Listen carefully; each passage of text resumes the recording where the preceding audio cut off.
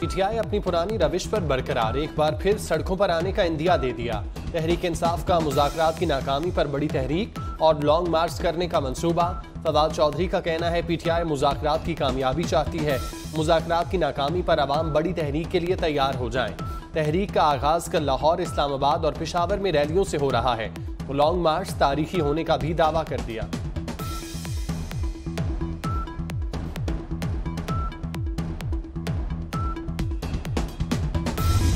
बेचते हैं।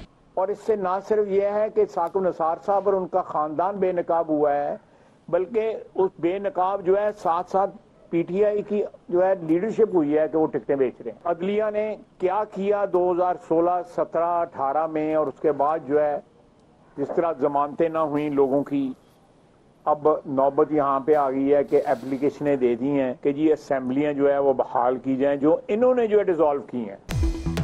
साकिब निसार और पीटीआई क्यादत बेनकाब हो चुकी। वज़ीर दिफा का सबक चीफ जस्टिस के बेटे की ऑडियो लीक पर अदल ख्वाजा आसिफ ने तनकीद करते हुए कहा, साकिब निसार ने खुद एतराफ़ किया कि लीक ऑडियो उनके बेटे की है। नवाज़ शरीफ की दुश्मनी में साकिब निसार बहुत दूर निकल चुके थे।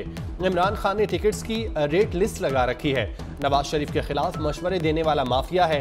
अदलिया का काम पंचायत लगाना नहीं। कहाँ लिखा है, अदलिया मुजाकरात कराएगी।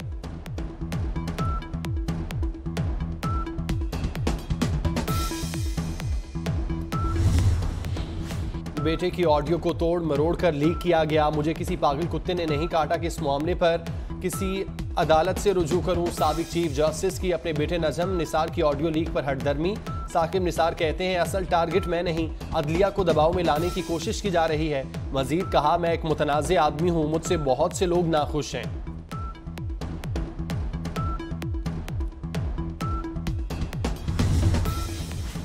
एक दिन जनरल इलेक्शन पर कौमी इतफाक राय हासिल करने का मिशन अवामी नेशनल पार्टी का तीन मई को ऑल पार्टीज़ कॉन्फ्रेंस बुलाने का फैसला। ऑल पार्टीज़ कॉन्फ्रेंस इस्लामाबाद में मैरियट होटल में होगी। जेज हुआ की वजह से तहरीक इंसाफ को नहीं बुलाया जाएगा।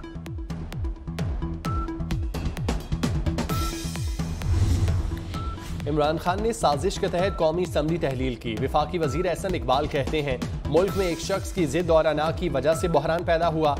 इमरान खान चाहता है इलेक्शन उसके हैंडलर्स के ज़रिए कराए जाएँ। 2018 में पीटीआई की मदद करने वाली ताकतें रिटायर्ड हो चुकी।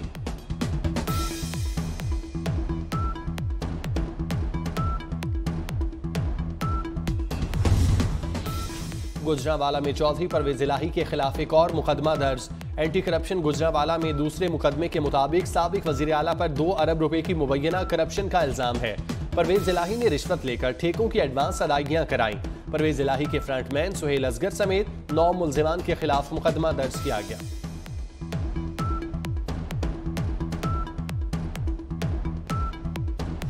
सदर ने नैब तरमीमी बिल 2023 पार्लियामेंट को दोबारा वापस भिजवा दिया। आरिफ अलवी ने बिल आइन के आर्टिकल 75 एक बी के तहत पार्लियामान को वापस भिजवाया। सदर के मुताबिक कौमी एहतसाब ऑर्डिनेंस में पहले से की गई तरामीम सुप्रीम कोर्ट में जेर समात हैं। बिल और वज़ीर आज़म की हिदायत में इस पहलू का हवाला नहीं दिया गया।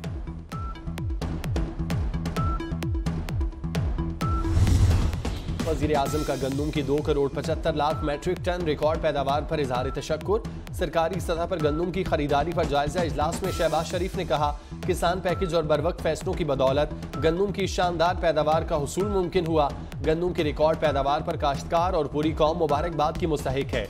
गुजशत नाअहल हुकूमत की बद इंतजामी की वजह से पाकिस्तान गंदम दरामद करने वाला मुल्क बन गया।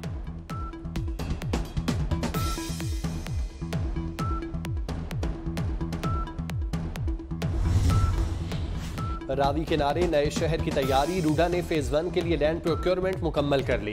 इक्यालीस किलोमीटर ज़मीन की मरहलावार खरीदारी जारी। Deputy director land colonel retired Luqman Sultan कहते हैं, रूडा फ्रंट मंसूबा, आलमी सरमायाकारी का मरकज साबित होगा।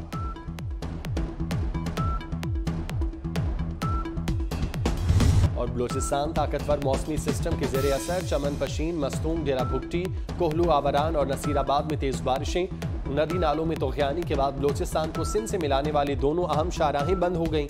कौमी शराह पर पुल बह जाने से मुख्तलिफ़ इलाकों का ज़मीनी रबता मुनकता। कराची के कुछ इलाकों में बारिश और यालाबारी, मौसम खुशगवार। लाहौर में बादल बरसने से गर्मी की शिद्दत में कमी। अर्बन फ्लडिंग के पेश नज़र नाला लई के अतराफ एक माह के लिए दफ़ा एक सौ चवालीस नाफिज कर दी गई।